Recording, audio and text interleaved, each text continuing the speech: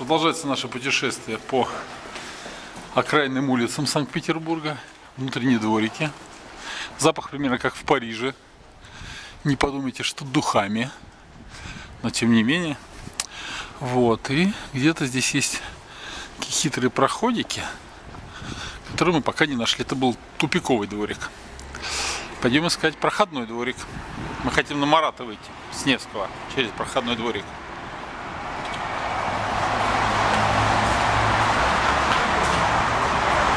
Попытаем удачи вот здесь вот.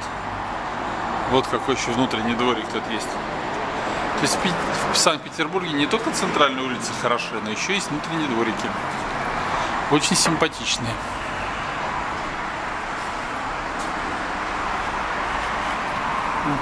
Лифтовую колонну заменяет, судя по всему. Видимо, старая сгнила, ставит какую-то новую. Хм, интересно. Ну, это наружный лифт. Так, мы сейчас тут аккуратненько пройдем и перейдем вот сюда. Вот такой тут проходик есть. Невестель фирма. Здесь вот можно так пройти и войти в соседний дворик. И опять колодец Невского двора. А, здесь глухой. Глухой дворик. Значит, все-таки надо вернуться назад. Здесь была такая решетка с гостеприимными клыками вот с такими. Или в 90 А сейчас тут даже калитку сняли. Еще есть проход между дворами. Ну, то есть раньше здесь было закрыто, не так давно, а раньше. А сейчас открылись сквозные проходы. Ну и, наконец, выход уже опять в город. И выходим в сторону улицы Марата. Что мы прошли через проходные дворы, преодолели, так сказать, препоны и рогатки.